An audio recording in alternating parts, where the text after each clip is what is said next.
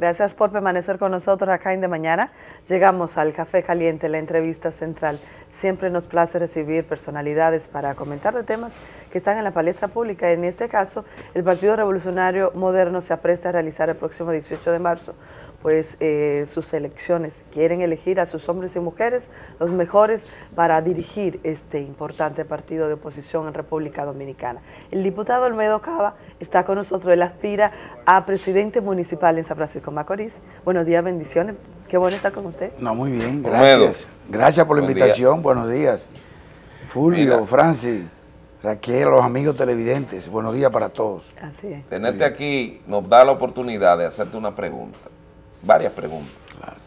El esquema político planteado por el PRM es de hacer una primaria interna y en la que tú estás. La proyección de Ormedo, después que vino a hacer un trabajo como diputado, ahora a dirigir el partido, ¿cuál es tu propósito? Mira, eh, Francis, nosotros eh, asumimos una gran responsabilidad cuando decidimos aspirar, ¿verdad?, en el primer periodo que, fuimos electos diputados en el 2010. Pero eso no, eso fue ya en algo par de mi candidatura. Nosotros hemos asumido una posición siempre eh, ligado al viejo partido, ¿verdad?, en cual nacimos y trabajamos aquí, incluso desde de nuestro nacimiento, podríamos decir, en la juventud, como dirigente estudiantil y después las diferentes posiciones que asumimos en el, en el viejo partido. Y nosotros eh, entendemos que somos de los forjadores de este PRM eh, en la provincia de Duarte. Nosotros tenemos realmente eh, una posición de, presidente provincial del partido y, hemos estado en la parte de, de, que todo el partido trabajando en esa formación en todos los municipios, distritos y todas las zonas, los municipios que tienen zonas, en el caso de San Francisco de Macorís y, y la Villarriba que tiene una parte nosotros hemos estado trabajando de día y noche eh, en, la, formación del PRM. mantenga la idea, vamos a permitir que pase con el cafecito ah, caliente para entonar aquí el diálogo, porque van a haber algunas preguntas calientes. Sí, sí, no, no le encanta el café, lo sabemos, lo puso como requisito. Y además este café es muy, Muchas gracias. tiene fama, que es muy bien, es muy rico. famoso, rico. Salud. Salud. Que le aprovecha. Muchas gracias. Le preguntaba Francis del propósito para su... ¿Qué propósito tiene? Bueno. ¿Por qué lo municipal y no provincial? Bueno, nosotros realmente tenemos el cargo provincial. Por eso. Lo que sucede es que eh, nosotros tenemos que realmente irnos a la realidad. El municipio de San Francisco de Macorís, dentro de la provincia, es la parte electoral más importante, porque es la capital de la provincia y donde está la mayor cantidad ¿verdad? de la población. Estamos hablando prácticamente de, de más del 50% realmente los habitantes están aquí en el municipio. Bueno, aquí también en el caso de, nosotros entendimos que en el caso de Siquio, que decidió realmente no aspirar a, una posición municipal, un cargo que él venía eh, ostentando de hacía mucho tiempo, ¿verdad? Como de viejo partido y de nuevo partido, Siquio está optando por una candidatura nacional, una vicepresidencia nacional, en la, en la cual nosotros estamos comprometidos y lo estamos apoyando, igualmente que el compañero Franklin Romero. Entonces, en vista de que ya el compañero Siquio no iba a repostularse, no iba a aspirar de nuevo, nosotros entendimos que aquí requiere realmente de un trabajo muy especial, eh, salir a, construir, eh, es darle seguimiento al trabajo de Siquio, modernizar el partido, hacer un trabajo con las estructuras, con las zonas del partido, con los barrios eh, que componen ¿verdad? nuestra gran ciudad, San Francisco Macorís, y fruto de diferentes talleres que hicimos con nuestros dirigentes, encuentros, compromisos, nosotros eh, aceptamos eh, eh, ya en una asamblea, e incluso el compañero Frankie Romero en su momento también tenía aspiraciones de dirigir el municipio, pero una gran asamblea que se hizo, por amplia votación se decidió que nosotros aspiráramos a la presidencia y el compañero Frankie entonces está optando por una candidatura nacional y también podría está también eh, eh, eh, aspirando a una dirección provincial. O sea, nosotros estamos asumiendo un gran reto de salir realmente a poner a crecer nuestro partido aquí en San Francisco de Macorís, conectar el partido con la sociedad, con la fuerza viva, con los sectores sociales de San Francisco de Macorís. nuestro partido no puede estar ajeno a lo que es la realidad de, de, Actualmente está desconectado. Bueno, no es que esté desconectado. Yo diría que ahora, con esta etapa nueva del partido, recordemos que las autoridades del PRM eh, realmente fueron asumidas en base a la posición que tenía en el viejo partido. Ahora ya eh, es una posición diferente. ¿Por qué no le dicen las siglas? El viejo partido. Como, si, como si fuera doloroso. Bueno, del PRD, yo no tengo problema en decirlo. Bueno, me merecen todo el respeto y además es un partido que nosotros venimos de ahí, ¿verdad que sí? Pero yo creo que hay que concentrarse ya en lo que es realmente eh, el pasado es pasado. Tenemos que concentrarnos realmente en lo que en, lo que viene, en lo que representa el futuro del país. Diputado, eh, ¿cuáles son las eh, los puestos que se van a elegir ahora en, toda la provincia, en el municipio, en el país y los candidatos principales que hay a nivel nacional? Bueno, por ejemplo, a nivel de municipio, los municipios eh, se va a elegir un presidente, un secretario general. Por ejemplo, en el caso de San Francisco de Macorís, como municipio eh, de mayor población, se van a elegir cinco vicepresidentes y cinco subsecretarios, que van a completar una elección de 12 personas que se van a elegir, 12 dirigentes eh, en este proceso. Luego ya los demás cargos serán después, hay un mecanismo ya establecido en el partido, eh, para eh, realmente asignar esos cargos en base a una asamblea y también en base a los mismos resultados electorales, porque lo que se trata es de que no quede nadie fuera del partido, Olmedo. que luego que pase el proceso todo estemos integrados. Ya luego de esta conversación, tengo necesariamente que preguntarte, ¿cuántos inscritos van a participar el 18 de marzo?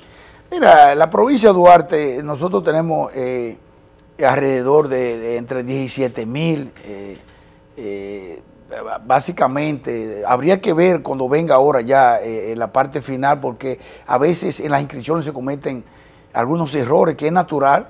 Por ejemplo, hay gente que usted lo inscribe y quizá va otro compañero y, y, va y lo inscribe también y firma. O sea, puede pasar eso. Son casos menores, muy, muy pequeños, pero pueden pasar eso. Se, logró, se logró ampliar el plazo para ustedes poder inscribir, porque se dio un caso que aquí se ha debatido, el amigo y ex colega nuestro, Julio Lizardo, en una especie de expresión sincera, se habían inscrito 5 mil no 400 tantos, 5.400. Y que realmente dio al, al interés de un dirigente de larga data como es el gallego, puesto que mencionó su nombre y dijo que le había o intentó limitarle para que no se dijera el, el número real. y eso trajo un conflicto que el gallego vino aquí. ¿Qué fue lo que, cómo lumbra esa situación? Porque parece ser que esos 17 mil no van a aparecer. No, esos 17 mil aparecen. Es que 17 en la provincia. Eso en la provincia, pero además de eso, algunos interpretan municipios y, depende, algunos le suman los distritos municipales, eso es asunto de interpretación. Pero lo que nosotros debemos reconocer es que en apenas dos semanas y días, casi tres semanas, nosotros inscribir esa cantidad en la provincia realmente eh, eh, fue una proeza.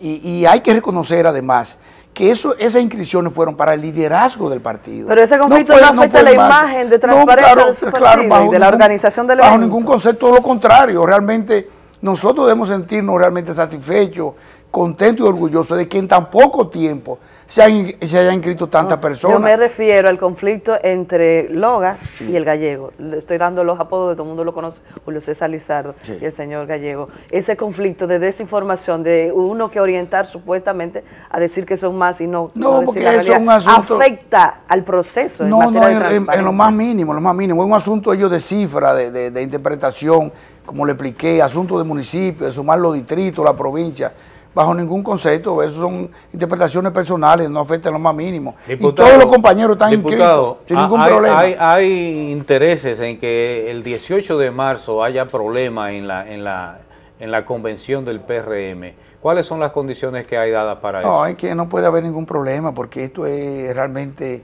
un proceso eh, transparente, limpio, un proceso eh, que no tiene ninguna dificultad, eh, un proceso donde los compañeros hubo un proceso. Primero, fíjense eh, eh, cómo fueron por etapas. Primero fue lo que le llaman el PRECO.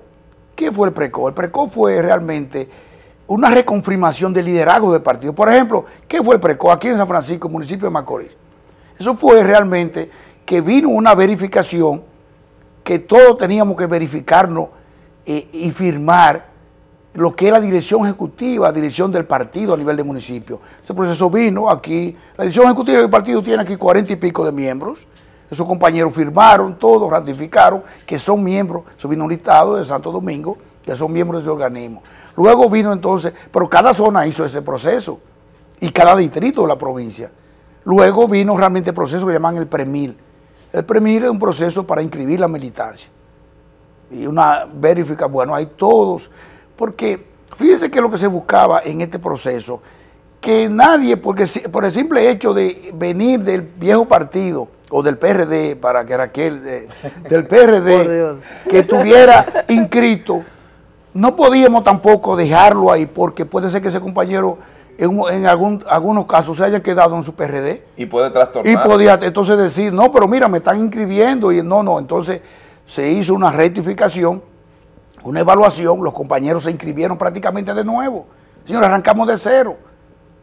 Ahí se inscribió cada compañero y ahí se verificó. Entonces se fue con copia de cédula, incluso con eh, con un desprendible, o sea, todo realmente increíble, como si fuera un proceso eh, que nunca yo lo había visto, óigame, en ningún partido político en República Dominicana.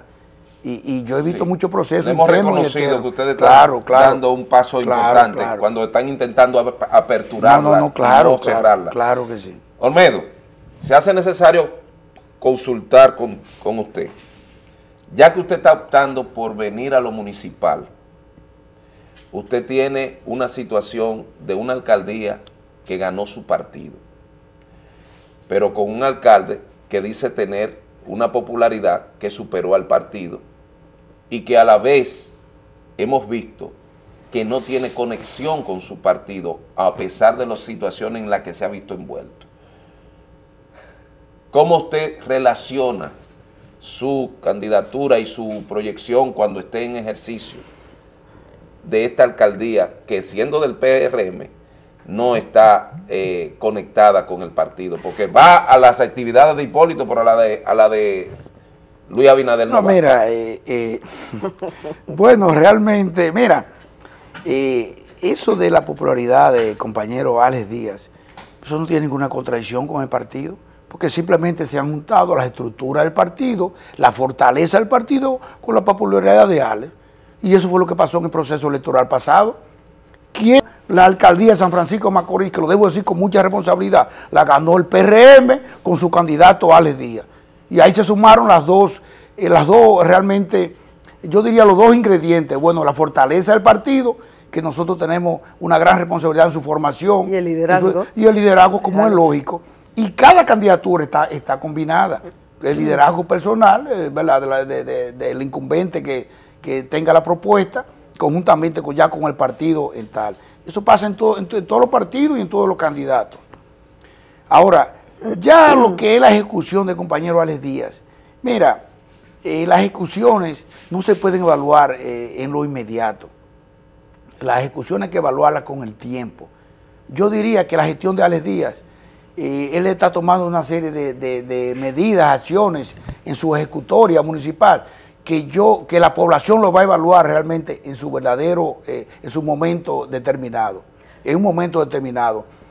En principio, por ejemplo, eh, ese operativo que Ale Díaz tiene de, quitar los letreros, de, eh, en base a un mandato de la ley, la ley de contaminación, de contaminación, exacto, ambiental. O sea que en su momento yo vi a todo el mundo opuesto a esa medida, sin embargo después vi que realmente la, población ha ido cambiando.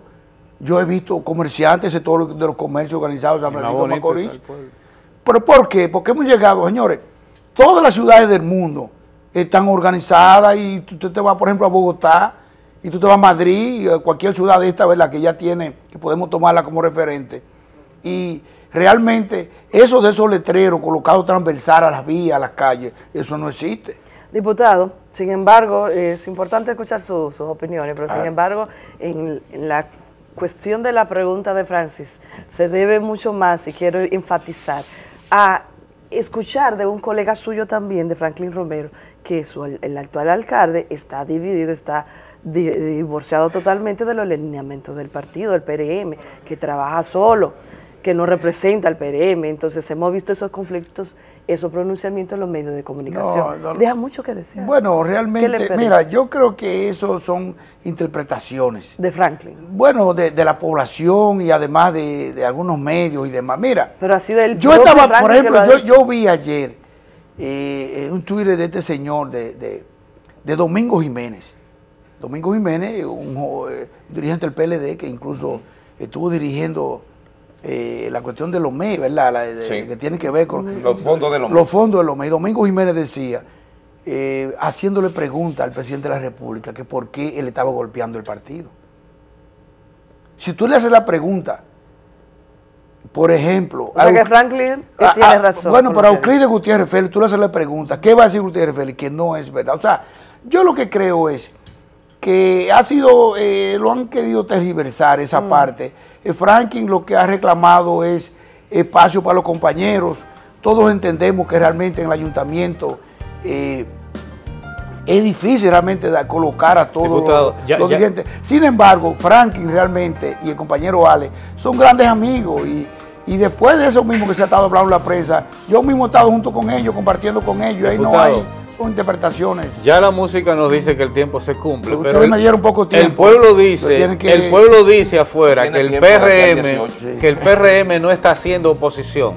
Después que pasen estos casos de nuevos dirigentes, ¿usted cree que puede haber oposición eh, real? Cuando un partido está en un proceso como está ahora realmente, donde sus dirigentes lo que están buscando espacio para ocupar posiciones, es lógico que el trabajo esté concentrado en la parte interna del partido.